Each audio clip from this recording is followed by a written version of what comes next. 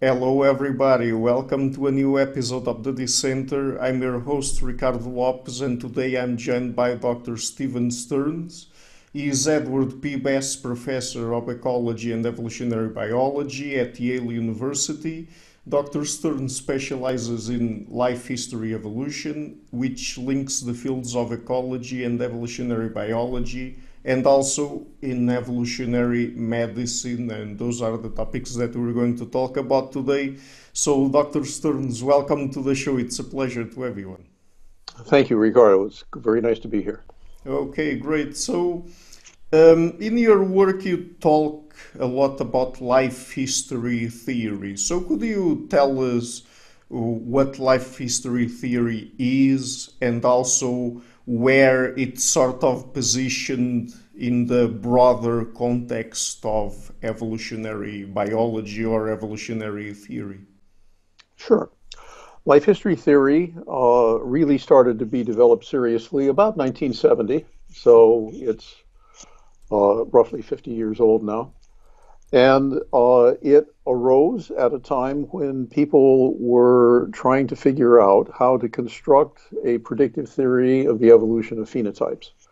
At the time, we had a very good apparatus for studying population genetics that told us how we could expect gene frequencies to change in populations.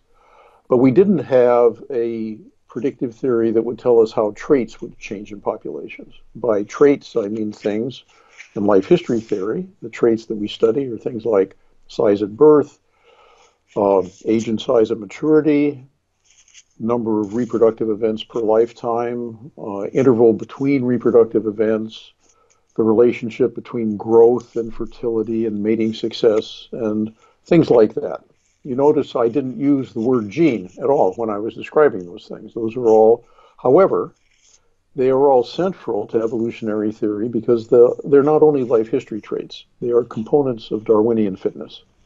They are the things that combine at the end of a lifetime to yield the number of surviving offspring that a particular combination of traits has produced. And so that was the handle that made it possible to develop a theory because there's a mathematical relationship that we get between the distribution of these events and mortality rates and the number of offspring produced at the end of the lifetime. And that is what allowed life history theory to start. Mm-hmm. Yeah. So you, you, you, can one way to think of it is uh, as uh, a phenotypic theory of the components of fitness. Mm-hmm. So, uh, and the traits that are associated with life history theory, I mean, where do they come from? Are they the result of uh, selective pressures? I, I, mean, are they part, do they characterize, let's put it that way, a particular species and they are the same for all individuals, or are, are they mostly, let's say, developmental and they depend on the kinds of uh, environmental factors particular individuals are, are put through during their lifetime? Well, let me, that's a complicated question, and let me go back and take it apart a little bit. Okay. uh, the state of an organism when we look at them, for example, you, uh, is determined both by your evolutionary history and by your developmental experiences since you've been born. Mm-hmm. And life history theory tries to accommodate both kinds of causation. And uh, in terms of evolutionary history, the human life history uh, is one that consists of uh, organisms that are born at, say, about three kilos, two and a half or three kilos, and they mature uh, and have their first offspring usually somewhere between the ages of 18 and 30 now. And uh, they tend to have an offspring, if they are a hunter gatherer, they tend to have an offspring about once every three to five years. And if they are in a developed country, of course, there's cultural things that change that. But uh, they probably don't have a capacity for having more than, at a maximum, about 25 offspring per lifetime, and usually much less. They stop reproducing. Uh, women stop reproducing when they're between uh, about 45 and 50 years old, and men usually stop reproducing a bit more slowly, but by the time they're a bit older than that. And they die when they are somewhere around, uh, somewhere between 70 and 90 years old now. Mm-hmm. So if you take that as a characterization of one species, we can say that that is a pattern that has been shaped by natural selection to give an evolutionary solution to the ecological problems that humans were faced with in their past. And that it was this kind of distribution of births and reproductive investments and timings that resulted in success in things that we see today, like you talking to me. Um, so that's one level of explanation, and it relies upon natural selection operating over evolutionary time periods in the past. Part of that uh, process, however, also shaped the capacity of those organisms to respond developmentally to the environments they encounter. We call that phenotypic plasticity or developmental plasticity, and it means things like this. If you take identical twins, so they have the same genes, and you separate them at birth, and you feed one of them well, and you feed the other one of them poorly, so that one of them grows rapidly and the other one grows slowly, the one that grows rapidly will have its first child earlier than the one that grows slowly. So that's a. Uh, there are many other aspects of the environment that affect life history traits, but that's just a very simple example to show that although there is an evolutionary history that has shaped life histories, there's also a developmental experience in the life of each individual that shapes what you actually see in the organism. Mm-hmm. So, life history theory also has to do with that uh, distinction between R and K uh, selection or R and K approaches to uh, reproduction and and things like that. Correct. Well, um, I have been a critic of the concept of K selection in the past, okay. and uh, however, I can un- I can parse that for your listeners so that they know both what those concepts mean and sure. where where I stand on it and why I st- why I take that stance. R and K selection was one of the first ways that people thought about thinking about life histories. R represents the rate at which a population grows, and K represents the size that a population can attain. And uh, there was a distinction made between species that were thought to have evolved under conditions where they normally were growing exponentially, probably because they were being uh, either eaten by predators or infected by diseases. And so they never had an opportunity to fully saturate their environment by which I mean they never got to the point that they were limiting themselves because they had eaten up all of their resources. K uh, selection means that, oh, if a species is K selected, it spent most of its evolutionary history uh, under conditions where it is mostly being limited by competition with other organisms, either of its own species or of other species, and therefore its biological properties are shaped to optimize its competitive ability in times of resource scarcity rather than its ability to grow rapidly at a time when resources are relatively abundant. And it was thought that uh, at that point, this is now 50 years ago, that organisms could be usefully ordered along a continuum from R selected to K selected. So that was the pattern. Now, for a variety of reasons, I became frustrated with that explanation. And I think the primary reason was that there was no, there, while there was a clear connection between how fast a population would grow and what its life history traits were, there was not a clear connection between the size it would attain, its K value, and its life history traits. Those were not then at that point present in equations. They couldn't be analyzed, they couldn't be taken apart.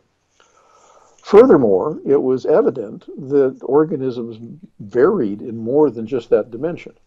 So, The idea was uh, initially that, oh, some organisms mature early, they're small, they have lots of babies, and they die young. And at the other end, those were the R selected ones. And at the other end, there were the ones that were supposed to be K selected. They were large, they grew slowly, they matured late, they had a few offspring in which they invested a lot. They tended to live a long time. And at a first cut, that is an interesting distinction, and it calls attention to some of the big differences we see out there in life histories. But organisms vary in many more dimensions than that. They vary in how frequently they give birth, they vary in uh, the different details of the patterns of their reproductive investment. And uh, there was another more scientifically let's say, philosophical aspect of that explanation. It was one that said, here's a pattern. And we see some things that are correlated with that pattern, and that explains something. And that is not a way of explaining things in science with which I am satisfied. There are some people who aren't, but I'm not. What I like to see is a prediction that we can test with an experiment and get at what caused the pattern rather than simply being happy that we see a correlation in a pattern. So it was a very good starting point, but it led to a bit of a controversy. And uh, the alternative to that that emerged was that we can look at the age specific patterns of mortality and reproduction and we can ask if an environment imposes a certain age or stage specific pattern of mortality and reproduction on a species, how do we expect that species to evolve to deal with that issue? So that could be imposed by weather or by predators or by diseases or by food availability or by many different things, but it would result in a particular impact of the environment on how an organism survives and reproduces. And by changing the focus from R and K to age specific mortality and reproduction, it turned out that we gained a great deal of concrete predictive ability. And that also transformed the framework into one that was susceptible more to experimental test. So, yes, what I've told you to go back and summarize is R and K selection has been an important starting concept in the field. Uh, it was provocative and it uh, stimulated a lot of research, but I think that for most people who are working in the field, it has been largely replaced. However, having said that, let me say the one sense in which it has not been replaced. Mm-hmm. K selection emphasizes the impact of density dependent processes on evolution. And by density dependent, I mean if a population grows to the point where organisms are really competing strongly with each other, then their population density is constraining their ability to grow and reproduce, and it becomes an important part of the selection that they encounter. Um, there is a large and interesting group of theorists now who are studying the impact of density dependent processes on life history evolution. And I know that you're going to get to the interaction between evolution and ecology. And this is one of the very important places where life history evolution interacts with ecology. Mm-hmm. And uh, that, that group is basically looking at what is called eco evolutionary feedback.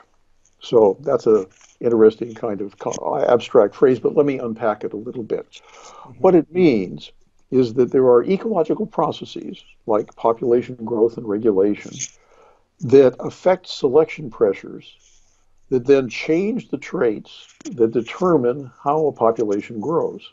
And so the ecological process of population growth and resource use affects the selection pressures, which, by the way, are operating directly and primarily on life history traits, such as size and number of babies and survival rates, and that that then determines the subsequent progress of ecology, and it's a feedback loop. It just keeps going.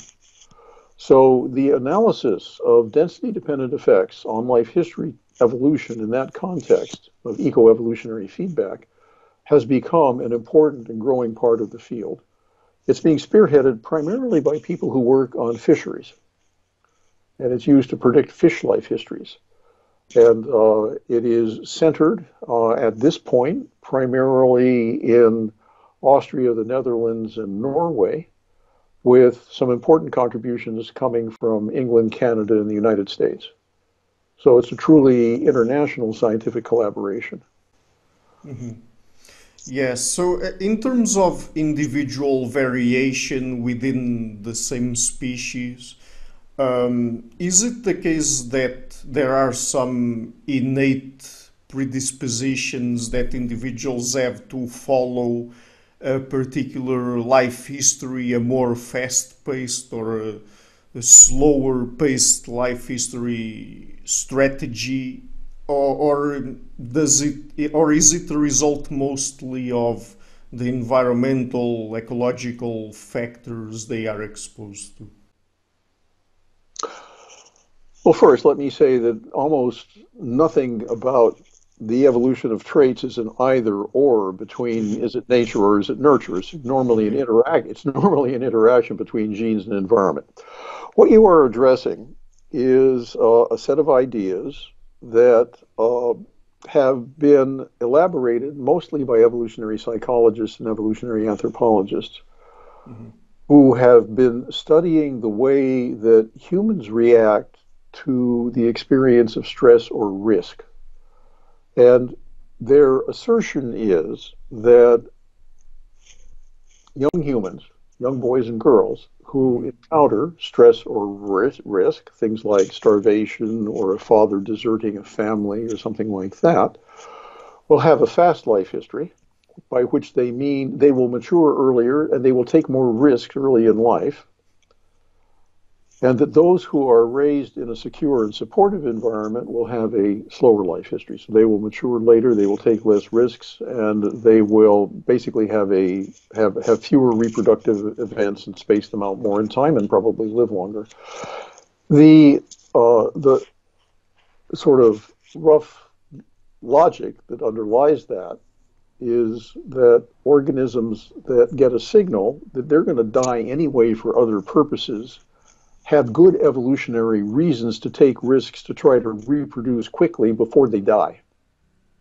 So, if you're, for example, growing up in an environment uh, in a criminal milieu where a lot of people are taking drugs and committing suicide, and uh, fa- couples are unstable and parents are disappearing, that might suggest that it would be advantageous from an evolutionary point of view to mature early and have as many babies as you can because you're probably going to die anyway before you get to be 30 or 40 years old. That's kind of the rough argument. However, I would like to note that there isn't any formal life history theory that predicts that kind of intraspecific variation. The argument was based actually on an analogy with R&K selection, which you brought up earlier. And R&K selection basically said there should be some fast things and there should be some slow things. And R&K selection was basically comparing insects with elephants, right? It was comparing small, rapidly living things with large, slowly living things. And it was looking at comparisons not just across species, but across whole large groups of organisms and doing it. When you're looking at differences among individuals within a single population, you need to be careful about how you construct your theory because there are lots of other things that come into play. Individuals within populations may be related to each other, and their fitness is expressed not only in the number of offspring they have per lifetime, but in the number of offspring that their relatives have per lifetime. And that is mediated by the way they interact with those relatives. So, those concepts of relatedness and kin selection need to be incorporated into a theory of life history for, say, humans that also allows for the kind of phenotypic plasticity we've just been discussing, that allows for the fact that the same genes might encounter different environments, and therefore they need evolved rules of thumb to deal with the different environments. They need to know how to play these different sorts of games. That kind of explicit theory has not yet been well developed and tested for humans. And so what's happened is that the speculations in evolutionary psychology and evolutionary anthropology have run a bit ahead of the logical apparatus that's really needed to see if those speculations make sense. Uh, they are intriguing. I think that they are very interesting. I think that there's going to be a lot of work in that area. But right at this point in time, I do not yet trust very many of the conclusions that are being drawn. Mm-hmm. I understand. So we've already talked a little bit about phenotypic plasticity, but I would like to ask you one more question about it. So is it that uh, a particular organism, I mean, the the extent to which it is uh, phenotypically plastic, is it genetically set or determined? I mean, the the I would perhaps amount is not the best word, but the degree to which they can be um, phenotypically plastic. Well, as you are by now thoroughly aware, everything in biology is a bit complicated. Let me put it this way. Yeah. It is possible for phenotypic plasticity itself to evolve and for organisms that had the same ancestor, some of which were exposed to some environments and others exposed to others, to, to evolve different degrees of phenotypic plasticity, actually different kinds of phenotypic plasticity. However, it is also true that some phenotypic plasticity is simply an inescapable consequence of chemistry and physics. Mm-hmm. We are big old sacks of molecules. We are systems of chemical reactions. We are composed of matter that must obey the laws of chemistry and physics. And so, uh, if we take organisms and we rear some of them, uh, let, let's say we take not, not humans, but let's say we take something like flies or earthworms or something that doesn't regulate its temperature, and we rear some of them in cold environments and some of them in warm environments, you will notice differences those are phenotypically plastic responses. Now, some of them are inevitable, and they would happen whether there had been any evolutionary history or not, simply because when it's colder, chemical reactions slow down. Things can't grow as fast. However, there is also the capacity in evolution to fine tune our systems of chemical reactions in such a way that a component of that response can be adaptive. And I think that this leads us to one of the ideas that will probably be coming up, uh, that we'll be mentioning again when we discuss evolutionary medicine. Mm-hmm. That is, that organisms can be considered to be well matched to the environments that they have encountered frequently and that would include well matched in terms of the kind of phenotypic plasticity they have to deal with that range of environments. But they may be mismatched or poorly matched to environments that they've never seen before. It takes evolution some time to change the whole genetic and developmental and physiological system to deal with a new set of environments. And uh, in evolutionary medicine, we have multiple examples, I think, of where uh, modern humans who have recently radically changed their environments are mismatched to their current environments. And it can happen to organisms as well. It's happening to them all over the world as we go through global warming and as patterns of weather and temperature change across the planet organisms are being challenged in ways that they don't really have very much recent evolutionary history to inform them about solutions to the problems that they're facing. And uh, interestingly, it's uh, almost a synonym for mismatch is, oh, now natural selection is operating on them. if they're mismatched, then some of them are dying and others are surviving. The ones that are better matched are surviving. The ones that are not so well matched are dying. And that generates a process of natural selection that will eventually return to a good match and to a state of reasonable adaptation to the environment. But when environments change, it takes time to catch up. Now, when we ask, how does phenotypic plasticity evolve in that regard? The answer is that we can expect natural selection to shape the phenotypically plastic reaction of a population of organisms to those environments that they have frequently encountered. but not to those that they've never encountered or which are rare. And so, if in the past it was very common in a human population for some organisms to be starving and other organisms to be well fed, and if both of those groups of organisms then contributed genes to future generations, and by the way, just by the terms of uh, biology, they wouldn't. The well fed ones would be contributing more than the starved ones. But let's say that there were enough of the starved ones contributing to bring in genetic information on that condition, then there would be the potential to have an adaptive phenotypic plasticity that told the organism this is how you re- should react when you're starving, and this is how you should react when you're well fed. But it's important to note those things have to have been frequently encountered in the past, and there has to have been enough time for that process of adaptation to have occurred. Mm-hmm. So, another thing came to my mind now. Um, does culture have, have anything to do with phenotypic plasticity? Because, I mean, in humans and other animals as well, but not to the same extent, I guess uh, because of culture, we have ways of getting information from conspecifics that allows for us to more quickly uh, adapt and survive and reproduce, that is, be, be evolutionarily successful in changing environments. Uh, does that make sense?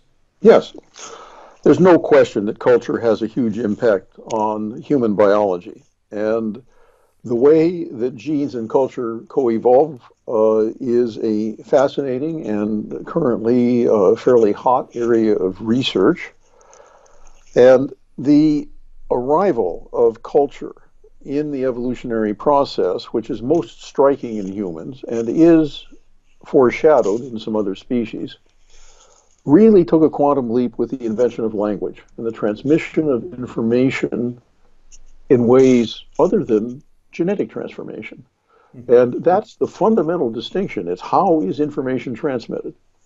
And once we had culture, then it was possible to transmit information on stuff that worked and stuff that didn't work, not only from parents to offspring, but horizontally to friends, acquaintances, relatives, students.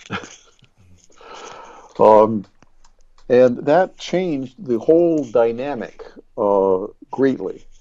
I think the most important thing to, to note about the interaction of culture, cultural evolution with genetic, genetic evolution is that cultural evolution is much faster. Mm-hmm. And that means that as long as culture is changing rapidly, the genes that are interacting with culture are running to catch up, and they probably never will. And what that means is that we're probably going to be permanently genetically mismatched to our cultural environment. Permanently. It will just keep going. Uh, there are many, many ways in which culture has changed selection pressures. And when you just start listing some of the things that we can name as being parts of culture, I think you'll see what I mean. Agriculture. Mm-hmm. The agricultural revolution is a big one. Uh, urbanization, which accompanied agriculture. So moving from small groups into of, of, related individuals into big groups of unrelated individuals. Yes. That completely transformed our ecology and it exposed us to a whole new set of uh, diseases and it created all kinds of opportunities for disease transmission that didn't previously exist. Probably, though, the biggest things that are acting on humans as selection pressures now that have been created by culture are public health and medicine. So, the parts of public health that have done it are primarily clean water, antibiotics, and vaccines. And the parts of medical practice that have done it are, of course, uh, not only the fact that we have scientific medicine and medical plans and modern antiseptic surgery and hospitals and things like that. But we also have medical care systems. And part of that is the whole delivery of medical care to an entire population. That has radically changed patterns of survival and reproduction in humans. And uh, the biggest impact on on our evolution is that it's much less likely now that a baby will die as an infant or that a mother will die in childbirth. Both of those have changed strikingly over the last two or three hundred years. Mm-hmm. And as a result, the selection on our life histories has also changed. So that, that's part of evolutionary medicine, but it connects directly to life history evolution because think of it like this go back to about, say, 1750 in a European country where the average life expectancy was about 35. It's true. Uh, and let us assume that the human life history at that point had been brought into balance by natural selection.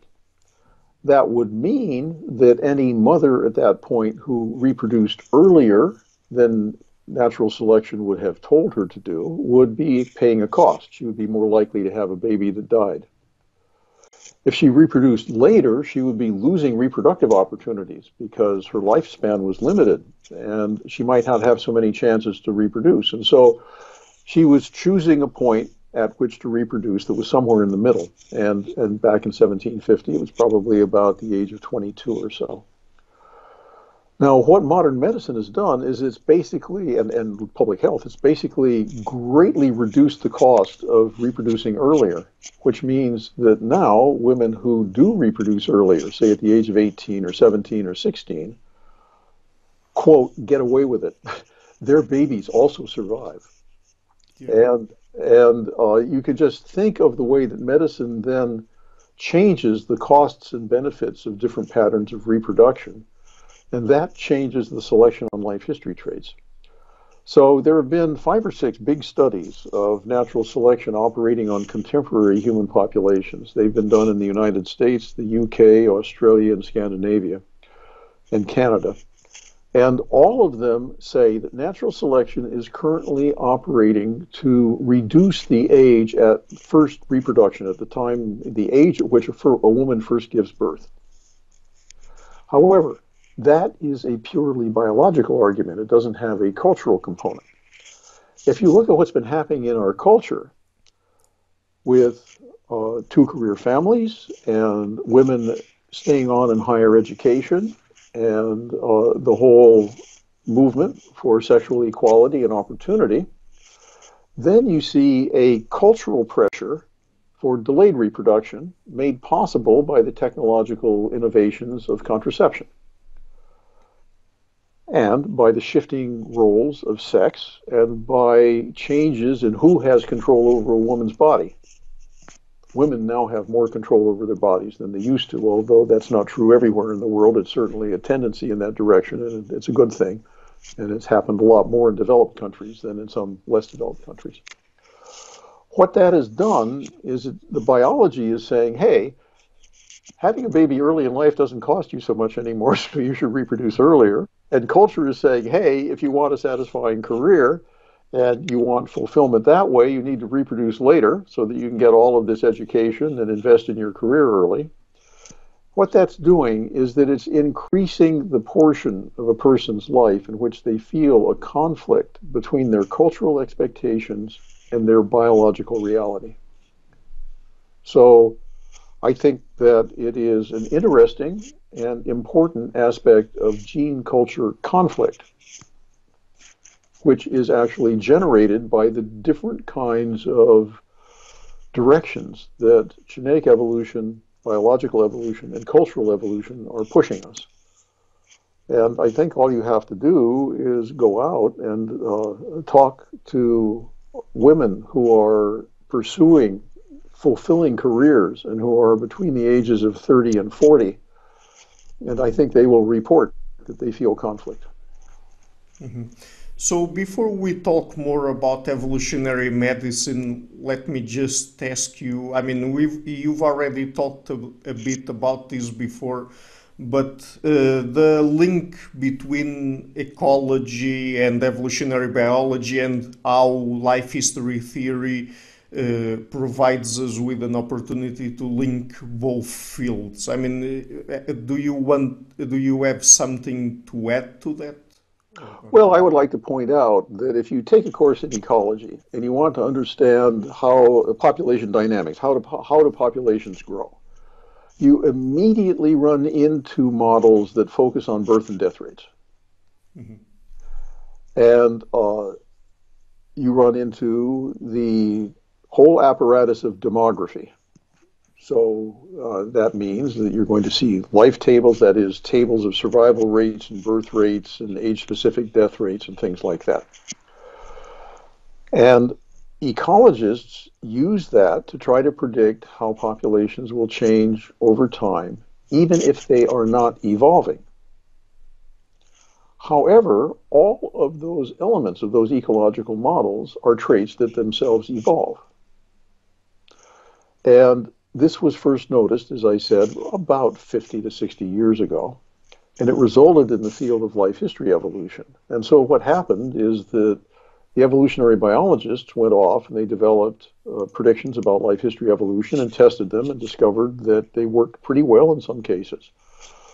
And for a while, the ecologists uh, just continued to deal with populations as, those, though, as though those traits were not evolving. And the reason they did it is not that they were stupid, it was that at that time, people didn't think that evolution happened very fast. And so they thought that, gee, if we're looking at ecological processes occurring on ecological timescales, which is a matter of, say, five or ten generations or something like that, we don't need to worry about evolution because evolution will be changing the traits slowly. But starting again in about 1970 and continuing with some work that I did, but some work very importantly that Peter and Rosemary Grant did on Galapagos finches and that David Reznick did on guppies, we began to realize that evolution can occur in ecological time and that you will get evolutionary changes in traits like life history traits over the course of, say, 10, 20, 30 generations, something like that. And that is fast enough to change the properties, the ecological properties of those populations, so that their birth and death rates then start to change. Now, the reason this happens is that most of those traits we've been talking about, all the things that are contributing to birth and death rates, those are shaped by many genes that have small effects. And the previous conception of evolution as something that changes very slowly had been shaped by a population genetic theory that concentrated on single genes that had large effects. Mm-hmm. Well, if here, just to give you an idea of the difference, if you start with a mutation for a gene that allows people to digest milk without having diarrhea and stomach cramps somewhere in Central Asia about 9,000 years ago.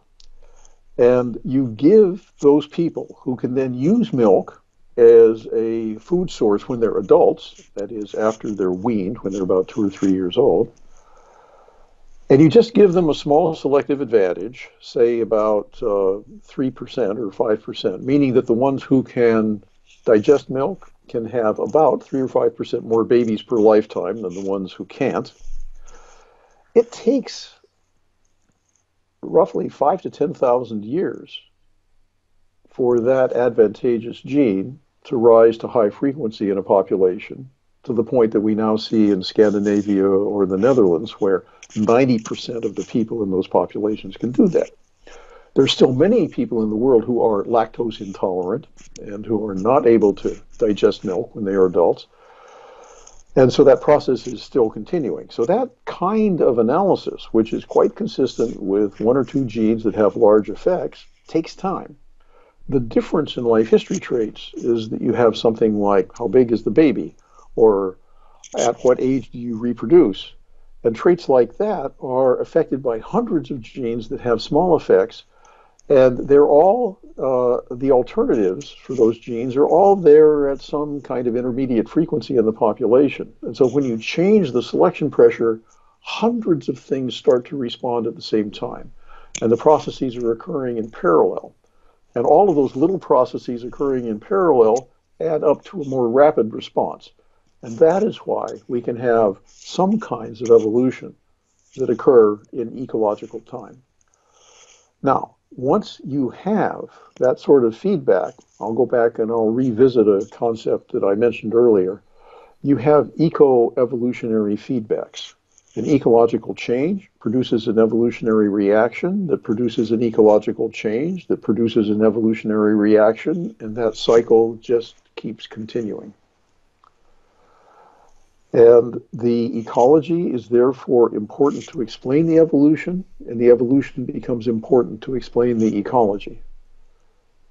That is, uh, there, by, by the way, that doesn't always happen, but it happens now, I think, in cases that we see with increasing frequency. And it means that the barriers between academic disciplines are breaking down because people have recognized that they need to be able to think about both things at once. And uh, it goes on not only in population dynamics, it also goes on in the evolution of behavior and of mating systems. Uh, we can now we now have a well worked out apparatus of evolutionary game theory which tells us basically use game theory when the behavioral strategy that one player adopts depends on the strategy that another player is adopting. And much of behavior occurs with that kind of interaction.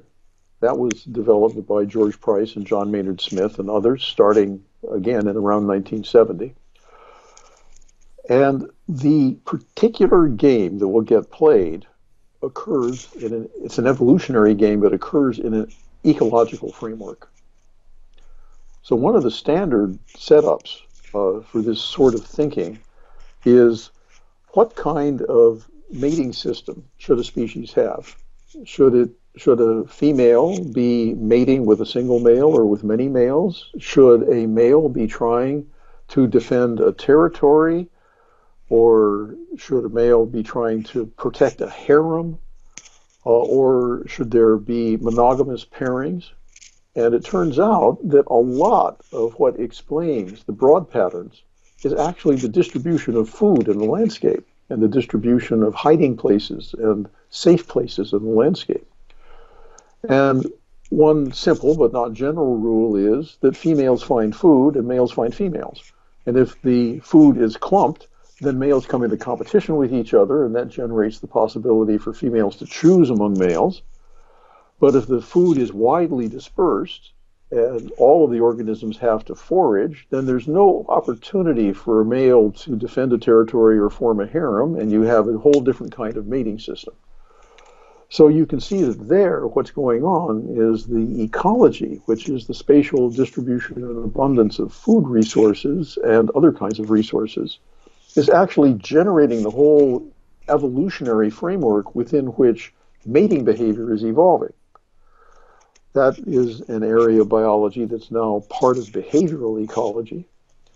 And it also represents another case in which ecology and evolution have come together in ways that lead to very powerful insights and which basically cause the boundaries between pre-existing fields to vanish. You have to be able to think across those boundaries now in order to be a good researcher.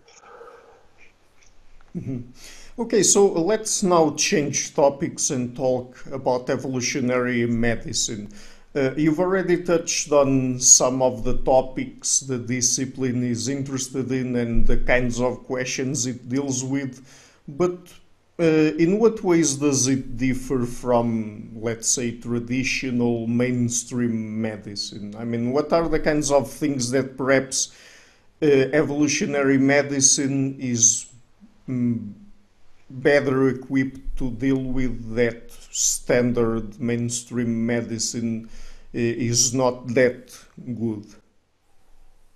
Well, first, evolutionary medicine isn't a discipline like genetics or biochemistry mm-hmm. or cell biology or something like that. It simply consists of all the ways in which an evolutionary insight impacts some aspect of medical or public health practice or research uh, to give some new, interesting added value. It mm-hmm. certainly does not replace traditional medicine. It is a different way of looking at medical problems that has the potential for giving some additional interesting insights. So it's not a discipline, it's not a different way of doing medicine, it's a way of contributing additional insights to existing ways of doing medicine. Now, I would break down the most direct, uh, say, clinical contributions of evolutionary insights into the way that we use antibiotics to treat infections, the way that we understand cancer, and the way that we think about uh, our responses to um, autoimmune diseases. Mm-hmm. So, first, to go to the antibiotics. You know, uh, when Alexander Fleming discovered penicillin, he discovered resistance to penicillin in bacterial populations, and it had evolved within six months of his discovery. And uh, that pattern has repeated. We now know that if a drug discovery program comes up with a new antibiotic and it starts to be used widely, that the bacteria against which it is being used uh, will evolve resistance to it within uh, six months to two years, and that that resistance will then spread around the globe it is estimated that it takes about six months for resistance to evolve to a new antibiotic in a hospital in the UK, and another two years for that resistance to appear in bacterial populations in Hong Kong. That's roughly the timeline. And the whole history of antibiotic development has been one of initial success followed by disappointment. And so you see whole classes of drugs first develop uh, the sulfa drugs and penicillin and things like that being developed, and then other other chemical types of drugs being developed. And every time they've been developed, some bacterial population has evolved resistance to them. Now, the evolutionary genetics of how bacteria do that turns out to be extremely important. Bacteria uh, have a circular chromosome, which is their main library of genetic information. But they also have inside their cells smaller circular pieces of DNA called plasmids. And when bacteria have sex, basically what they do is they line up next to each other and they make a little bridge, and those plasmids can go through from one bacterium to another.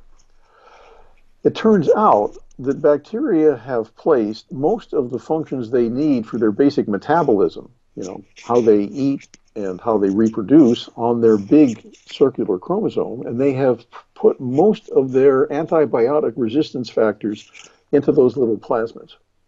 So, if you now genetically analyze virulence, or excuse me, not virulence, but resistance in a population, and you look at how it is lined up on one of those plasmids, you can look down that plasmid and you'll see, oh, here is a gene that gives resistance to penicillin. And here's a gene that gives resistance to streptomycin. And then sitting next to it is a gene that gives resistance to cipro, cipro, ciprofloxacin. And you can see up to maybe 20 different resistance genes all packed together now. This has taken 50 years for the bacteria to assemble, but now they just hand it off to each other. And this through sex. And this can then spread rapidly through a bacterial population. So that's a nice piece of basic research information. But uh, one of the more interesting and controversial ideas has to do with the issue of whether or not when a patient comes in with an infection, is there already a resistance gene in that population of bacteria, or has the resistance gene not yet evolved because a mutation has not yet occurred for it? If the mutation is not yet there, then the best thing you can do is give a large dose of antibiotics and continue it for five or 10 days and complete that dose because that greatly reduces the size of the bacterial population and therefore the probability with which a resistance mutation will occur. But if that resistance mutation is in there at the beginning because of past evolutionary history and since antibiotics have been invented, more there have been literally millions of tons of antibiotics that have been released into the environment. So there's been a lot of selection on bacteria, and there's a lot of antibiotic resistance out there. So if that infection has that mutation in it, and we now apply uh, a lot of antibiotics to it, what we're doing is we're not killing the resistant ones, we're wiping out their competition. And we're selecting for resistance.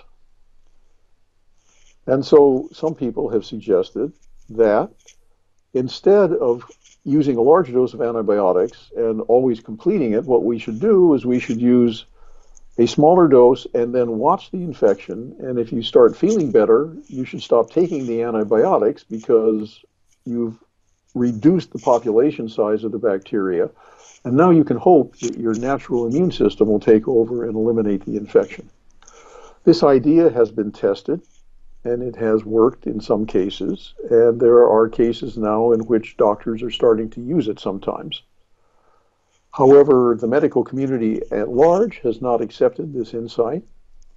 And I think the reason they haven't accepted it is that they often don't know if there is a resistant mutation in there. They can find out. They have to plate out the cultures and they have to go through a process, but it's expensive and it's time consuming, and often they don't feel they have time. As a result of which, we continue to use antibiotics much more frequently than they really ought to be used. And as a result, our current medical practice is often uh, really strongly driving the evolution of antibiotic resistance. Now, that leads to the next step. What happens when all the hospitals of the world are populated by resistant strains of bacteria? Well, that's really a very frightening prospect because all of our modern surgery is based on our ability to undertake antiseptic surgery and if an infection occurs to treat it with antibiotics. So it will make surgery much more risky and mortality rates after surgery will go up a great deal. Not to mention, of course, the fact that we'll have a lot of mortality from bacterial infections outside the hospital.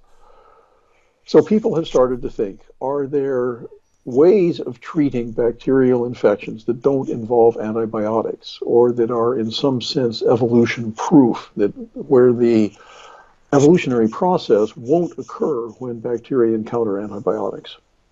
There's been some interesting progress on that. One of them is to use viruses that kill bacteria to treat bacterial infections. Those viruses are called phage, and therefore this kind of therapy is called phage therapy. Now, we've known about phage since about 1910, so it's been over 100 years that we've known that there are viruses that kill bacteria. And in fact, the French scientist who discovered phage suggested that they be used to attack bacteria 100 years ago. That was taken up and it was used in uh, Eastern Europe in fact, there has been an institute of phage therapy in the Republic of Georgia for a long time. But it wasn't until we really ran into the problem of antibiotic resistance in Europe and North America and Japan and China that other people began to think, well, there might really be something in phage therapy and began to test it. I have colleagues here at Yale who have done something very clever and it uses ideas that are both based on phage therapy, but they also interestingly include the idea of a trade-off, which comes from life history evolution. What they did was they looked for phage that would attack a bacterium in such a way that it reduced the bacterium's ability to resist the antibiotic. It wasn't just any phage. It was a phage that would go in and it would destroy the bacterial ability to resist the antibiotic. Then the bacterial population is faced with a dilemma. It can either evolve resistance to the phage or resistance to the antibiotic, but it can't do both. Once they had located this, they then tried it in a clinical trial on a man who was dying, and he knew he was dying, and because this, he knew he was a doctor actually, and he knew he had about two or three months to live. And all of the available antibiotics uh, had failed. And uh, he had an infection in his chest. He had a chest implant, he had a pacemaker in his chest, and there was a bacterial film that was growing over it.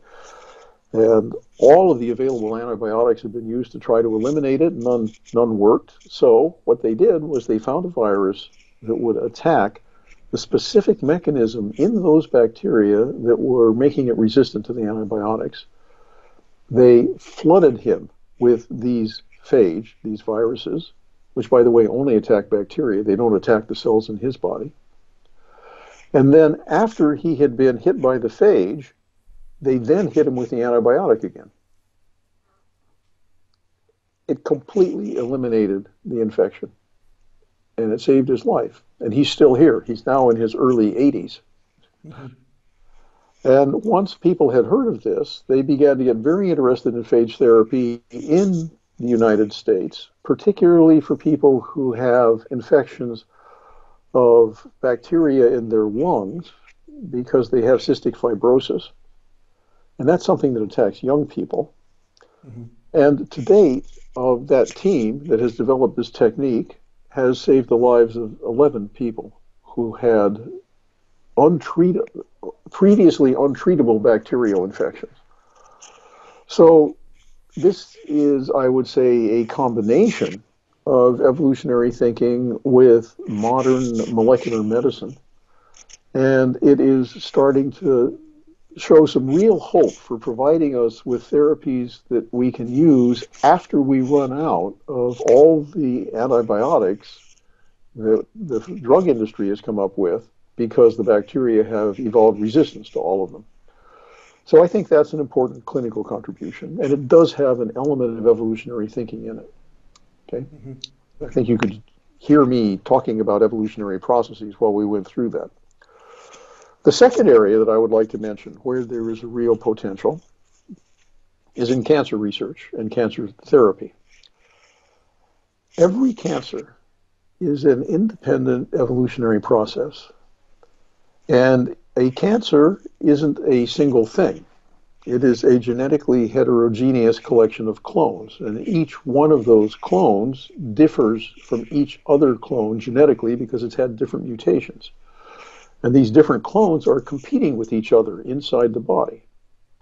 And it's because there are these different clones that when we use chemotherapy to try to cure someone of cancer, the usual pattern is that the cancer goes away for a while, but then it comes back. And the reason it comes back is that there are resistant clones, just as there are resistant bacteria. And unfortunately, I've done some research on this, and I'm a cancer survivor, so it's personal uh, I know that our ability to detect a clone of cancer cells visually using the various kinds of optical techniques that, that we now use in scans and MRIs and various other methods is about a million cells. That means that you could have a clone of 100,000 cells that was resistant to chemotherapy hiding out in some part of your body, and you would never see it.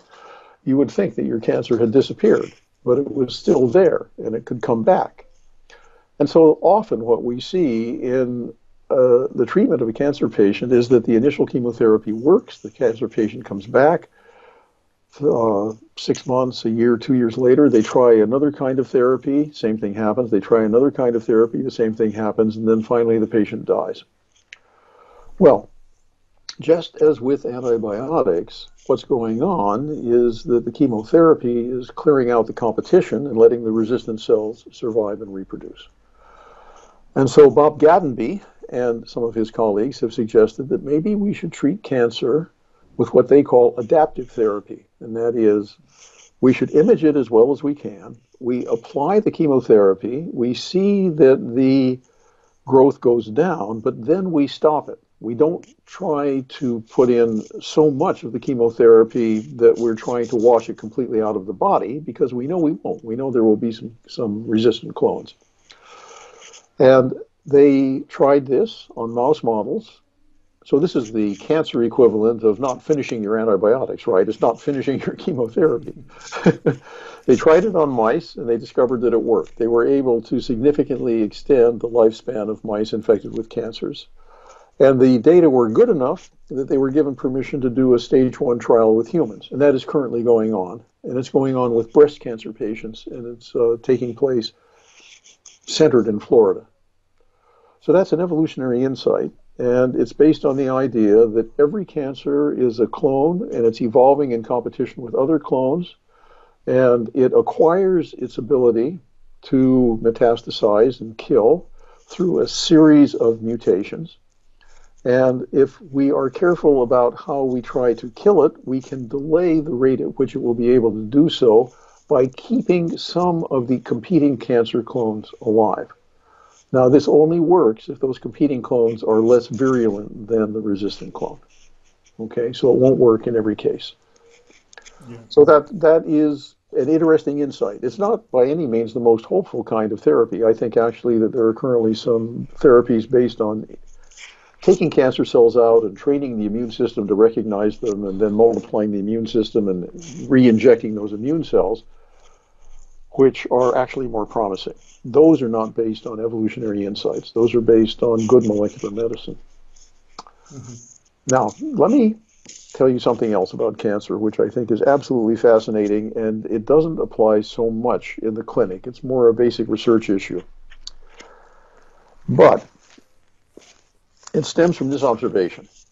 Humans and things like dogs and cats get cancers that can metastasize and spread through the body and kill you.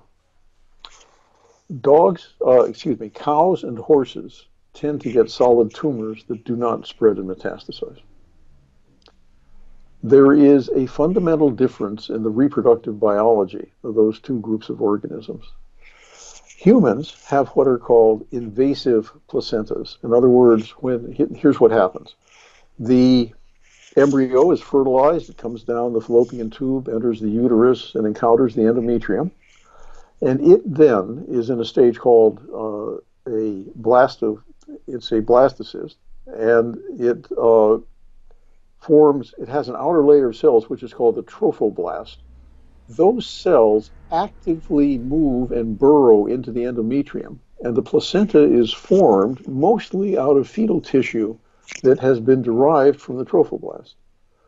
In order to do that, those cells have to move through other cells, and in fact, they are even able to embed themselves in the arteries that are growing out from the mother and give the embryo some partial control over its food supply coming in from the mother. It's not like that in cows and horses. In cows and horses, the trophoblast is not invasive, and at the end of the process, there are two or three layers of tissue between the fetal blood supply and the maternal blood supply. Whereas in humans, the embryo is essentially directly bathed in the maternal blood supply. Now, it is a fact of developmental biology that every cell in the body has the genetic program to do everything that any cell in the body can do. That means that every cell in the body has the ability of those trophoblast cells to move and to insert themselves into other tissue and to detach and to enter blood vessels. Those are exactly the things that metastatic cancer needs to do. It is no accident, therefore, that we see that humans and cats and dogs, which also have invasive placentas, get metastatic cancer, and cows and horses get almost none. That gives one the opportunity to ask, oh, if we study the genetic differences between cows and humans, can we see what genetic changes were necessary in cells to give them that opportunity to invade? And will that give us some understanding of which genes we need to target if we want to target metastatic cancer? Mm-hmm. That is a profoundly evolutionary line of thinking. It relies on comparative evolutionary biology, careful description of the differences in reproductive biology, and then coupled with all of the power of modern molecular biology to be able to find those genes. And my colleague Gunter Wagner has done just exactly that. And he has a very interesting group of uh, collaborators. They include people at the University of Connecticut and uh, Wayne University in uh, Detroit and other places around the planet, University of Vienna. And basically, what they've done is that they have grown cow endometrial cells in culture and human endometrial cells in culture and then they've taken trophoblast cells from cows and from humans, and they've allowed them to invade the two different kinds of endometria. And they have harvested cells from that. These are all plates now in vitro, in, in the lab. and characterized them genetically to see which genes are turned on and which genes are turned off. And it's led to a fascinating story, which is going to have, I think, very interesting fundamental implications. I do not see at this point that it has any rapid, direct clinical applications. I don't think that we can talk about a new cancer therapy coming out of it or not. But I do think that every time we have gained breakthrough and fundamental knowledge like that, we have had a harvest of practical applications in decades to come. So I think that's very exciting, and it gives you a good example of uh, some of what's going on in evolutionary medicine. Now let me turn to the issue of uh, hygiene and autoimmune diseases and allergies and immunobiology, which I think is another very active area. And again, this stems from some broad natural history comparisons that are now being analyzed in much greater detail. Let me start with a large natural history comparison. If you uh, look across the globe at where people have autoimmune diseases, you notice that they are primarily in developed countries and primarily in the north and in the south, and not in the less developed countries near the equator. When you then plot on top of that map of where the autoimmune diseases are, where you find people who are carrying parasites and worms, you discover that the people who don't have autoimmune diseases often have a worm infection, and the people who do have autoimmune diseases often do not have a worm infection. So that led to the rough idea that, gee, maybe worms are manipulating our immune systems in ways that reduce the risk of autoimmune diseases. That was one pattern. There were other patterns. If you look across the border between Finland and Russia, what you see is that Finland is a more highly developed country with a higher. By the way, it's important that Russia conquered part of Finland and that the people who are in the part of Russia that's right next to Finland have the same genetic ancestry. They're called Karelians. Okay, so uh, the people in the Russian part of Karelia have one kind of ecology and public health system, and the people on the Finnish side have another the people on the Russian side are uh, living in a, a, a, more intensely farming economy where the children have much more exposure to domestic animals and uh, to contaminated water. And the people on the Finnish side are living in a more hygienic environment. There is a dramatic difference right across that uh, border in type 1 diabetes, which is an autoimmune disease. Mm-hmm. The Finns have much more of it, and the Russians have much less of it. You can see similar patterns in the rate at which people get allergies. People who live in cities get frequent allergies more frequently than people who live on farms. There is a clear association between our microbiota and the way we acquire our microbiota and our risk of autoimmune disease. Now, some of the serious autoimmune diseases are uh, inflammatory bowel syndrome, IBS, or inflammatory bowel disease, IBD. Uh, Crohn's disease is one of those. And that, that group of people suffers from diarrhea, from pain, from bleeding, from terrible problems. And they really are very interested in trying almost any kind of therapy. I mean, they are people who are driven to desperation in trying to find therapies. And there are some anti inflammatory drugs that do give them some relief, but there really isn't anything that eliminates the cause of their problem. So they're symptomatic, there's some symptomatic relief, not complete, but no real therapy that gets at the cause.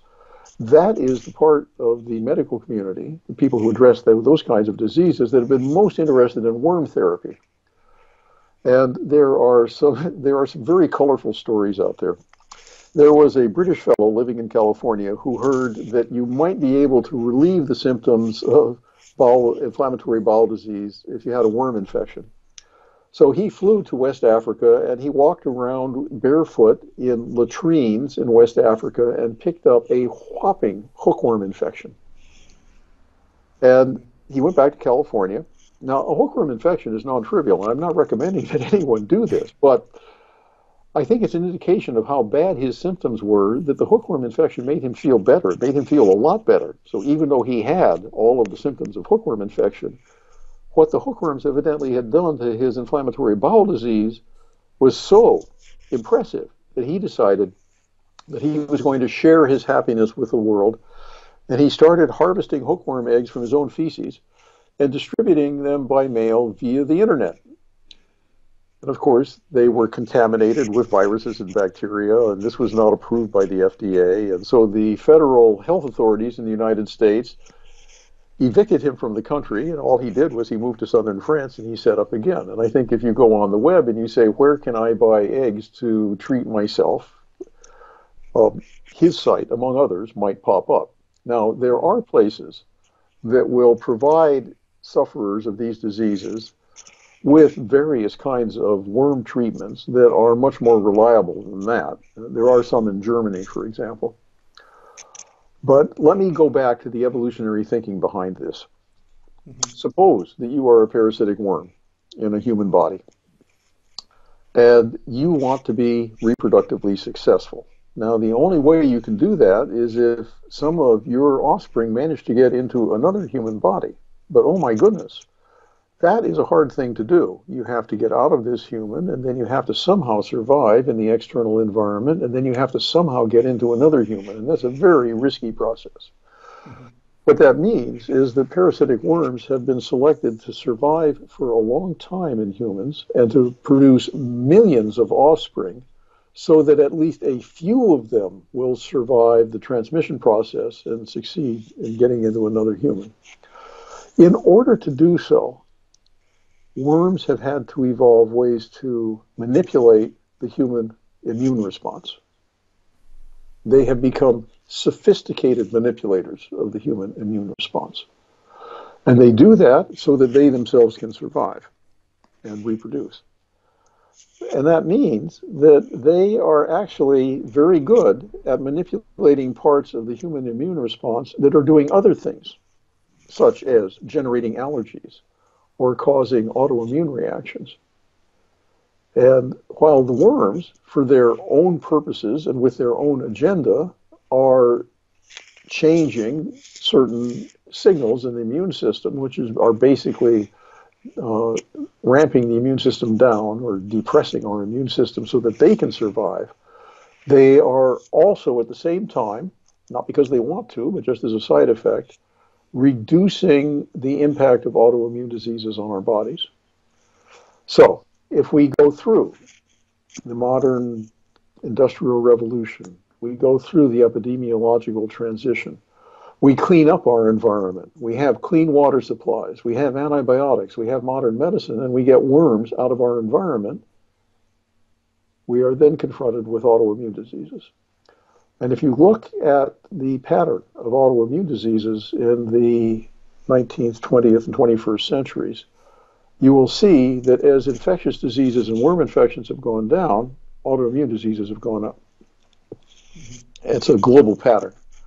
So this has become a very interesting and uh, hot area of research in immunobiology it has definite clinical implications. I would say they're not fully worked out yet. Um, there have been clinical trials where people were taking cocktails of pig whipworm eggs, 2,400 eggs every six hours for five days, and things like that.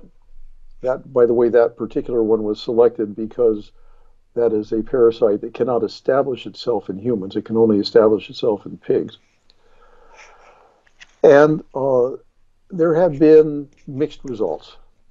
I think what people would really like to do, at least in the pharmaceutical industry, is figure out how are the worms doing that, and can we isolate some molecules that we can market as drugs? Then we can make money on it, and we don't need the worms. Mm-hmm. And uh, one of the issues that's currently being confronted is do you actually need to have a live worm? In other words, do you need to have a living organism that's dynamically responding to the immune microenvironment in the body to get this effect? Or can you mimic a worm with drugs? And that at this point is an open question. But this whole uh, idea and this whole line of research goes back to the observation that we are mismatched to our current environment, which is much cleaner than our environment used to be and that our evolutionary biology has not yet caught up And it's that evolutionary insight which has then driven all of this other research, which is mostly non evolutionary and mostly just good molecular medicine. Mm-hmm. Okay, great. So, about evolutionary mismatch, uh, is this a concept coming from evolutionary theory that can shed new light on certain health issues in modern that are very prevalent in modern industrialized societies? Sure, that leads right on from our previous conversation about hygiene and worms and autoimmune diseases. So that's an example where we are mismatched because we no longer have worms in our bodies. But there are many other aspects of our modern environment which are probably having important effects on us. Um, I think that uh, we do not yet understand the impact of artificial light on our mood, our psychology, and our sleep patterns. Mm-hmm. I think the evolution of sleep patterns is fascinating, and it's very different in modern humans than it was in hunter gatherers. I have a colleague, uh, Charlie Nunn, who investigates sleep patterns in not hunter gatherers, but in, uh, say, pre industrial agriculturalists in Madagascar. Mm-hmm. And the usual sleep pattern in people who do not have electricity is that they go to sleep when the sun goes down then they wake up around midnight. They're up for about two or three hours. Then they go to sleep again, and then they wake up when the sun comes up. So they're completely dependent on natural light. And to the great frustration of anthropologists, what they do when they wake up at one or two in the morning is they tell each other stories. And so, out there in the dark of the night in Madagascar, you are to imagine that there are agriculturalists who are developing their whole cultural storytelling tradition at one or two o'clock in the morning. And there are a bunch of Western anthropologists who are trying desperately to not become sleep deprived. And of course, I think you're probably aware of all the research that's been done on the impact of the kind of light that comes out of computer screens and what that does to our sleep patterns. And you can now buy software that causes your computer screen to put out more red light and less blue light as the evening goes on. I don't think that we really know yet uh, the impact of artificial light on our mood and our health.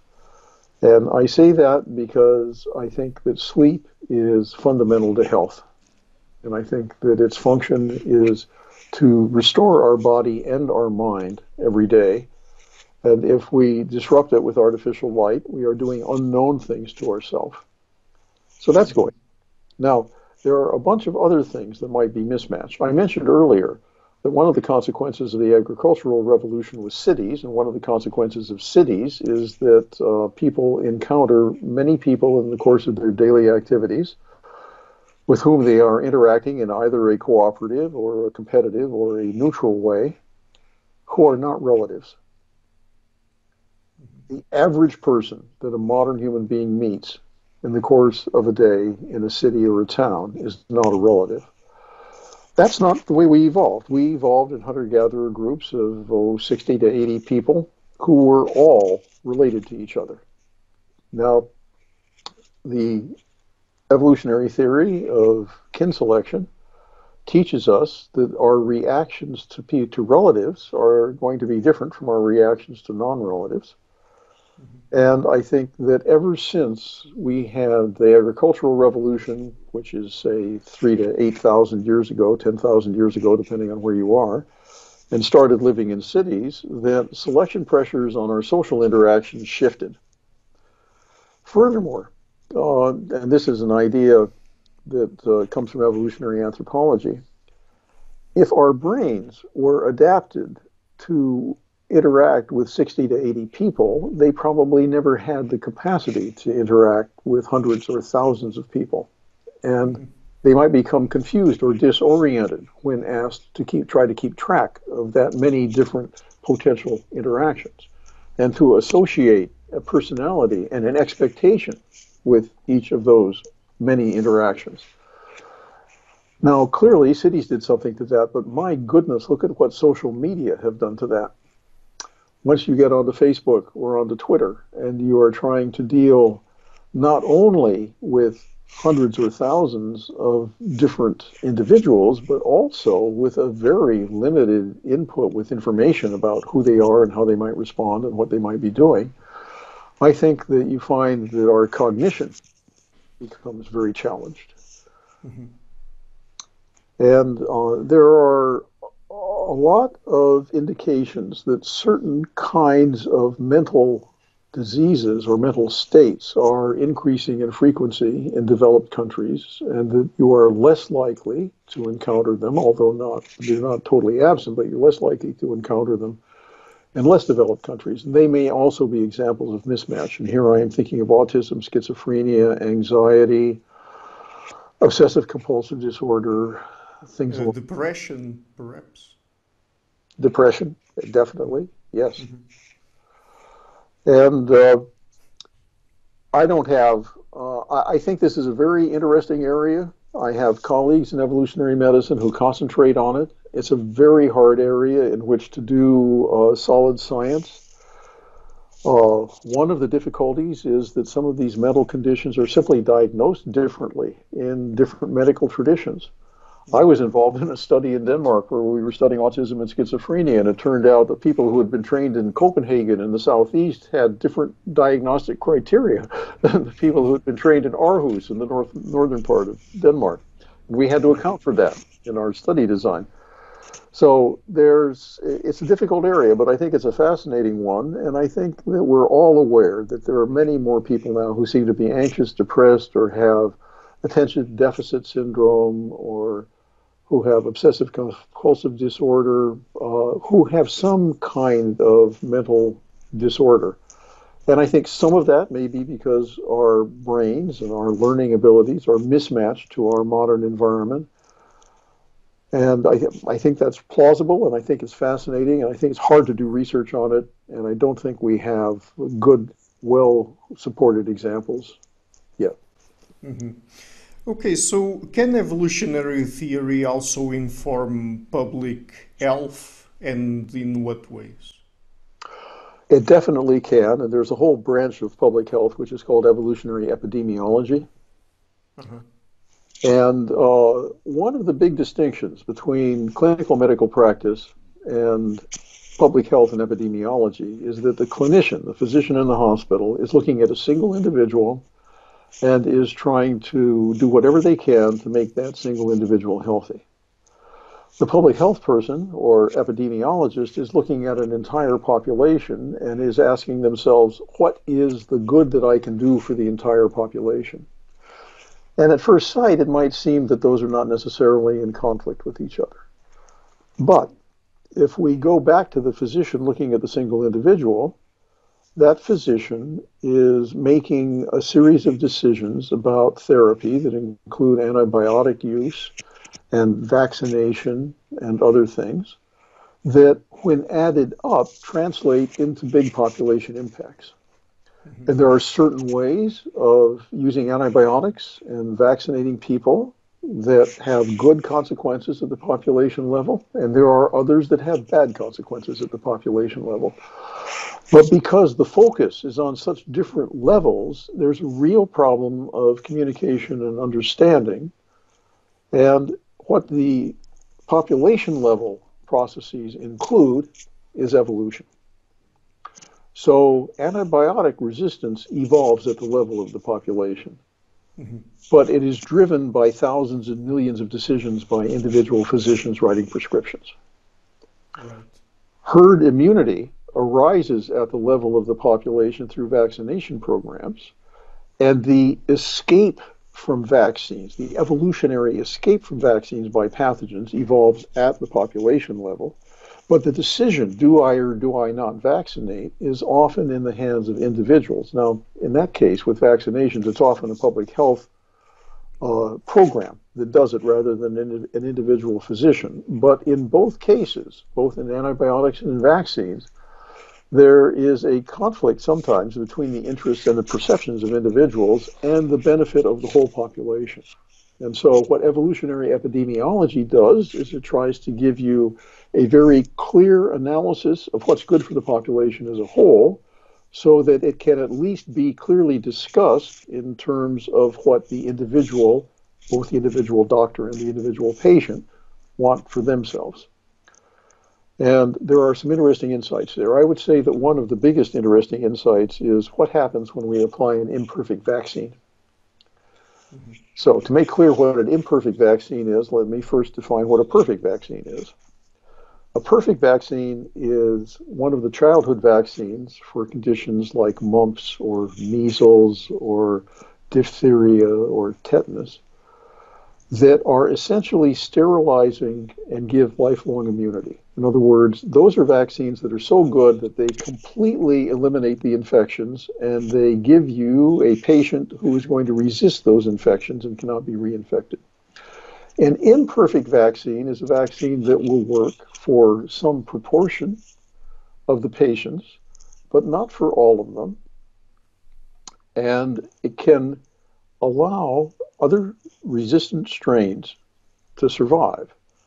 Now, here's an important evolutionary concept that is a key feature of evolutionary epidemiology. It is thought that a pathogen, like a virus or a bacterium, experiences a trade off between its virulence and its ability to transmit. In other words, it's probably most easily seen in a case like Ebola. Ebola is so virulent that it isn't good for itself. In other words, it kills people so rapidly that it doesn't have an opportunity to transmit, and therefore, in most cases in the past, Ebola has not spread very effectively. In the most recent case in eastern Congo, it did, but it's an example of an extremely virulent disease. Diseases that transmit effectively often are less virulent because they and the reason they can transmit is that they allow the patient, the host that they infect, to survive longer and to continue to move around and to have contact with other potential hosts. And so, a fundamental idea in evolutionary epidemiology is that there's a balance between virulence and transmission, and an optimum level would be selected. And this has been well documented uh, in some animal diseases such as the virus that was myxomatosis that was used to control rabbits in Australia. And it is an idea that informs thinking uh, about many human diseases.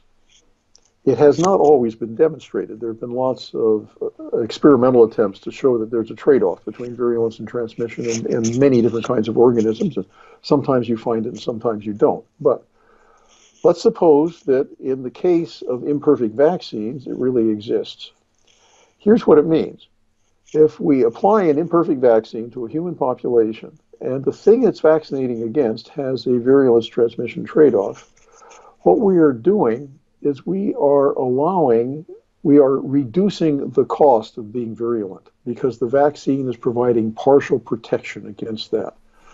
What that means is that the imperfect vaccine is selecting for more virulent strains. We've reduced the cost of virulence. There was a trade off that shifts the evolutionary optimum. More virulent strains can evolve. Uh, this idea has been tested and demonstrated to be correct in some instances using mouse models of malaria. And I would like to note that there are two important vaccines that are we know are imperfect. One is malaria vaccines. Every malaria vaccine which has been discovered is imperfect. They think it's a good one if it's 50% effective. They would be delighted if it were 70 or 80% effective. The other one, which is quite broadly used, is the human papillovirus vaccine, the HPV vaccine, which is used to try to prevent cervical cancer in women and various kinds of cancer in men. It's caused by a sexually transmitted virus. Mm-hmm. And it is also a highly imperfect vaccine that allows uh, a large percentage of the strains of that virus that are circulating to continue to circulate because it's not effective against them. So the evolutionary insight basically is that, oh, if we're using an imperfect vaccine on a large population of humans, we can expect that the pathogen that we are trying to vaccinate against will evolve greater virulence.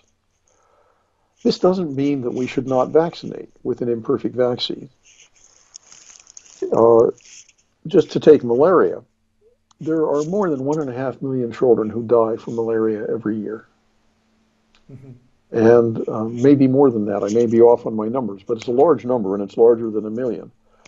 And if an imperfect vaccine saved a million of them, that would be great. But if in the process of using that vaccine, we are knowingly causing the evolution of greater virulence in malaria, then we also have the scientific and the moral duty to start thinking about how are we going to treat it when it becomes more virulent? What will we do with the patients that we are then indirectly causing to have more virulent forms of the disease? And my goodness, when you look at human papillovirus and at cervical cancer, that rapidly becomes a very, very frightening thing to think about. So I think that insight that imperfect vaccines can select for greater virulence, which by the way is, is we owe to Andrew Read and Sylvain Gandon and others, is an important evolutionary insight in evolutionary public health. And uh, I think it's a good example of where evolutionary biology is saying we had better be prepared for some unpleasant surprises that would not have been surprises if we had used evolutionary thinking. Mm-hmm. Okay, so I have one last question that comes from a supporter of the show, Bernardo Seixas, and he says, Dear Dr. Stearns, a foundational tenet of life history theory is the existence of trade offs between different vital functions. Do you believe that current attempts to increase the human lifespan can have negative unintended effects? Well, it's a very interesting question. It's a good one. It's one that I discuss every time I teach evolutionary medicine, and it's one that I have, in fact, discussed directly with Jennifer Doudna, who got the Nobel Prize for CRISPR. Mm-hmm. And uh, here is the background we have an increasing incidence of chronic diseases associated with aging that are emerging in human populations in developed countries as a consequence of our good medicine and our good public health. Mm-hmm. So, more people are surviving to be old. If there has been historically a trade off in genes that promoted uh, good reproduction and survival early in life, but had the side effect of increasing risk of chronic disease late in life. Well, when we lived shorter lifespans, they would have been selected for. The costs would never have been paid. It would have been buy, buy, buy now, pay later, but the later never came, and so all you got was the benefits in terms of improved reproduction. I've already sketched one example of, of that, um, and that is the relationship between the ability of trophoblast cells to implant in the endometrium and the risk of metastatic cancer. That's something that the implantation in the endometrium happens extremely early in life and is obviously directly important for reproduction. And the risk of metastatic cancer is something that happens 40, 50, 60 years later. So there's definitely a connection between the early life and the late life effects that constitutes a nicely illustrated example of a trade off. But let us suppose what would happen if we tried to treat metastatic cancer with genetic engineering on germline. So we took, say, cells in a petri dish and we were going to use artificial reproduction on them. And we took out the genomes of the mother and the father and we substituted genes that had to do with metastatic ability in the mother and the father. We put them back into the petri dish, and then we tried to reimplant those into a woman and have an embryo form in the woman. Well, that embryo would have a very hard time burrowing into the endometrium, and it would be very difficult from the point of view of assisted reproductive technology to have a successful pregnancy if that was what was going on. So one of the fundamental issues that you encounter with genetic engineering of humans is are you doing it on the germline or are you doing it on the adult organism? If you're doing it on the germline, then you're doing it on uh, in such a way that not only does that human being get the genetic changes, but then it's going to be inherited by its offspring. Mm-hmm. And not only that, but anything that gene does late in life will also be there early in life. And so any sort of manipulation of the germline runs directly into the issue of trade offs between reproduction and survival. However, if you do somatic gene therapy, say, on a person who has completed reproduction. Here they are. They're 40, they're 45, they're 50 years old.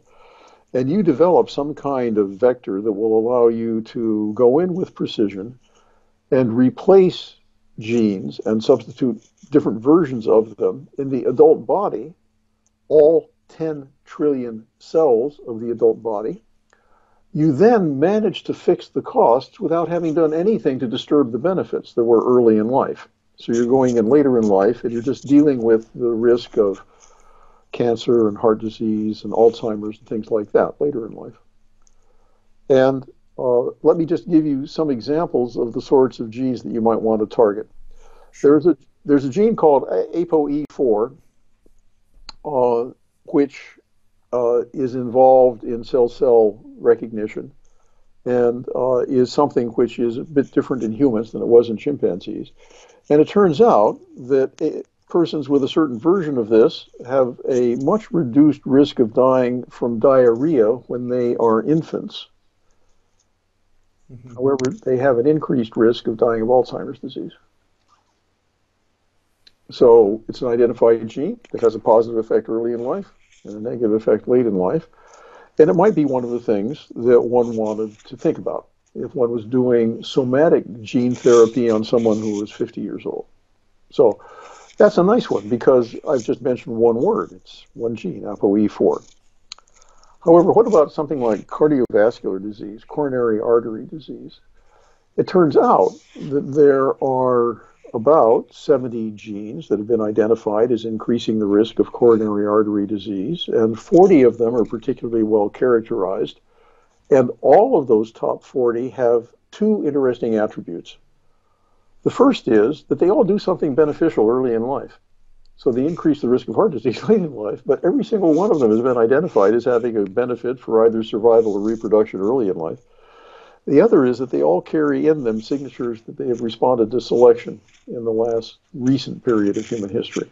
So uh, clearly, something has been happening to change selection pressures on the genes that affect risk of coronary artery disease. But if you think about trying to do genetic therapy on that, it seems to be a nearly impossible task. Not only do you run into the problem that, gee, they also have benefits, you also run into the problem that there are so many of them and that each of them has such a small effect. They all add up to a big risk, but each of them has a small individual impact. That's not a very good candidate for doing sophisticated gene therapy. Uh, it would be extremely expensive, probably ineffective, and uh, and certainly not something that one would want to contemplate for a large population of people.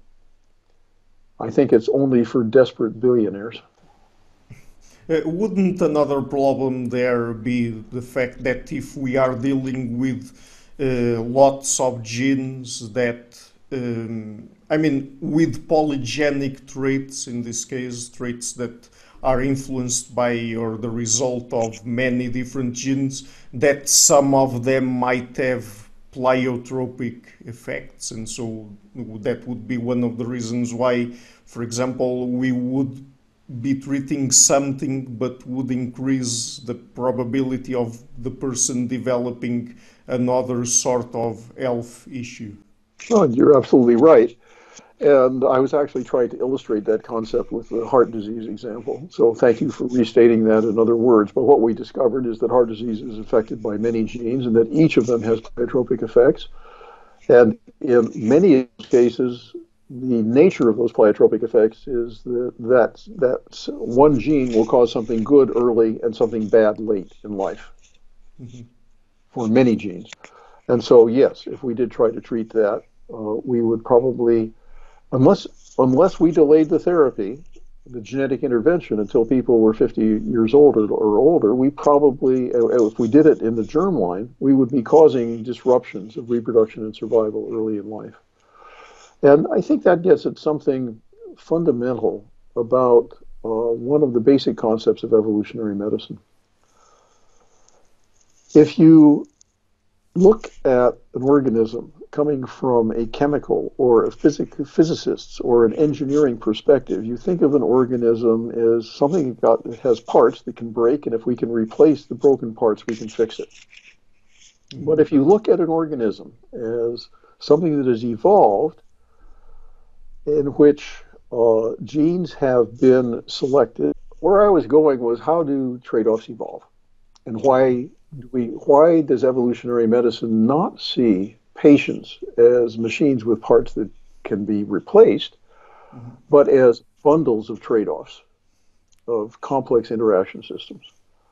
And there are really two important things to realize about evolution. One is that evolution will tolerate high costs if it can get high benefits. Mm-hmm. So that means it will accept and it will actually use a gene that is beneficial just as long as the benefits are even greater than the costs. That's why we have trade offs. The other is that there is a real, uh, well, I don't want to go into the whole process of building organisms and all of the reasons why things that happen early in life are more likely to be important for evolution than things that happen late in life. But if you just take that idea that evolution is willing to pay a high cost if it gets an even higher benefit, and if you can imagine that something that happens early in life is likely to be more beneficial than something that happens later in life, then you end up with the evolutionary theory of aging. And you realize that we are not going to be able to use evolution, engineering thinking to successfully treat complicated biological systems we're going to have to try to understand how they are linked internally. And unfortunately, I have to report that my understanding is that those linkages are tremendously complicated, and therefore the probability of unpleasant surprises is pretty high. In other words, because a lot of stuff is tied together, if you change one thing, you're going to be changing a lot of other things. And it's hard to know which other things you might be changing. And I think what that gives us is an important cautionary note. Uh, I, have referred to a number of complicated stuff, but I can reduce it to a very simple proposition. And that is if we want to do gene therapy on humans, we have to proceed very carefully and we have to be modest about what we know. And we have to admit that there's a lot of stuff that we don't know. Because if we don't do that, we're going to have some very unpleasant surprises. Mm-hmm. Okay, so just before we go, um, are there any good places on the internet where people can find your work? Well, if they go to YouTube and they defy, the if you go to YouTube and you search on evolutionary medicine Stearns, you will get a set of 65 short lectures. They're each about 15 minutes long that take you through all of the major areas of evolutionary medicine. And if you go to YouTube and you search on ecology, evolution, ecology, and behavior, Stearns, you will get a set of 39 lectures, each of which is somewhat longer, that is kind of an introductory course in ecology and evolution. So those are places on the web where you can go. Now, there are some others, and I would think that, uh, you know, Google has been my friend a lot, and I'm sure Google will be your friend as well. Uh, I'm sure there are other similar resources. Those are simply the ones I know about because I did it. So. Okay, great. So I will include that in the description box of the interview. And Dr. Stearns, again, it was a real pleasure to have you on the show and to talk to you. Ricardo, good to meet you, and thank you. Goodbye. Hello everybody, thank you for watching this interview until the end. As you might have noticed, I've started this channel back in February 2018 and have been putting out regular interviews with top academics and scholars from a variety of fields so to keep the channel sustainable, I would like to ask you to please pay a visit to my Patreon page and to consider making a pledge there. If you prefer PayPal, I also have links to that in the description box of the video. Otherwise, and if you like what I'm doing, please leave a like, share it, and hit the subscription button. I would also like to give a huge thank you to my main patrons and PayPal supporters, Karin Lietzcke and Blanchett Pererga Larsen Lau Guerreiro, Francis Forde, Hans Frederick Sunda, Ricardo Vladimiro, Craig Healy, Adam Kessel, Olaf Alex, Jonathan Wiesel, Anian Kata, Jacob Klinkby, Matthew Whittingbird, Arno Wolf, Tim Hollesy, Henrik Ahlenius, John Connors, Paulina Barron, Philip Force Connolly, Jerry Mueller, Herbert Gintis, Rutger Voss, Bo Weingard, Rebecca Newberger Goldstein, Dan Demetriou, Robert Windiger, Rui Inácio, Arthur Coe, Zoop, Marco Neves, Colin Holbrook, Susan Pinker, Thomas Trumbull, Bernardo Seixas, Pablo Santurbano, Simon Columbus, Jorge Spinha, Phil Kavanagh, Corey Clark, Mark Blythe, Roberto Inguanzo, Michael Stormir, Eric Neumann, Samuel Andreev, Tiago Nunes, Bernard Yugni, Alexander Dunbauer, Omari Hickson, Fergal Cusson, Evan Bodrenko, Hal Herzog, Nuno Machado, Don Ross, João Alves da Silva, Jonathan Librant, Oslam Bullitt, Nathan Nguyen, Stanton T, Samuel Correa, Eric Hines, Mark Smith, J.W., João Eira, Tom Hummel, David Sloan Wilson, Yassila Deza Araújo, Eden Solan, Romain Roach, Dmitry Grigoriev, Diego Londonio Correa, Tom Roth, and Yannick Punter. My producers is our web, Jim Frank, Lucas Stafiniak, Ian Gilligan, Sergio Codriano, Luís Caetano, Matthew Lavender, Tom Vanegdam, Curtis Dixon, João Linhares, Benedict Mueller, Vega Guidi, Sardas France, and Niruban Balachandran, and my executive producers, Michal Ruzieski, Rosie, and James Brett. Thank you for all.